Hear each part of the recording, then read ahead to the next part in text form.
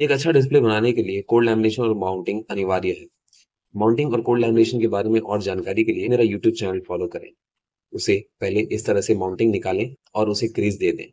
और फिर आपका जो प्लान सरफेस है, उसके ऊपर सरलता से चाएँ और प्रेशर लगाएँ उसके बाद आपको हैंड रोलर लेना है और इस तरह से उसके ऊपर प्रेशर लगातार दो तीन बार डालना है। डिस्प्ले अच्छा बनेगा, शानदार बनेगा, कस्टमर को आपकी मैसेजिंग समझ में आएगी और आपके लिए भी लाइफ थोड़ी सी आसान हो जाएगी क्योंकि आपको एक ही चीज़ बार बार नहीं समझानी पड़ेगी।